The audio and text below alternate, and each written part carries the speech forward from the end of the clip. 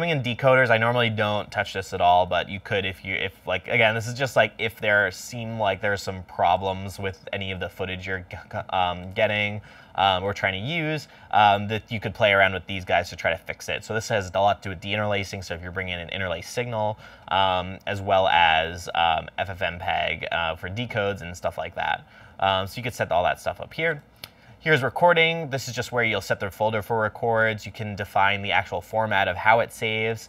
Um, and then you could buffer things here too, um, which will put in your cache. You need to make sure you have a good enough graphics card to hold that in the cache. But you could do this, and this buffer will help um, with if you're receiving any drop frames. It'll make sure that the records don't get cut off. Uh, I believe so, at least. It might just be just some buffer for the recorder, so it's less likely to fail. Um, but yeah, so you could play around with that. Um, and then you could set this so any old settings will hold true if you're coming in and out of vMix files.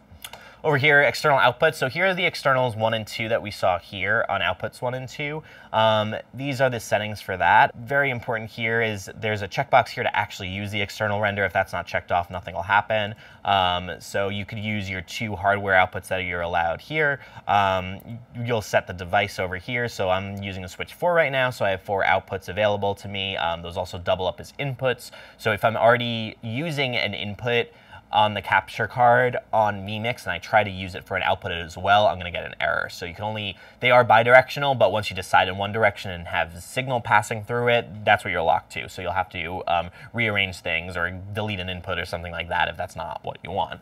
Um, and you could also come over here and you could set any of the buses to be on the external output, um, which is a requirement. So for what we're doing in um, REMI 1, if we want to record ISO vMix calls, let's say, we'll set that up over here. So we'll make external, we'll go into this menu, make this the vMix call input, let's say it's input 1, and then over here, let's say that we wanted the vMix call audio to be in bus A, we'll just go over here and select bus A. On, so now the video output has bus A, and we could record an ISO with audio in a HyperDeck, which is pretty great. Um, so I'm just going to go back, set this back to the way it was before. Um, so it's just one of those things if you're not hearing something correctly um, to check out in the external output because there is another layer of audio controls here and this will trump all other controls as well. So if I had this output set to bus A, let's say, but then I was sending it out external one, it would get master audio, it would not get bus A in this situation. I would have to make this bus A as well or instead.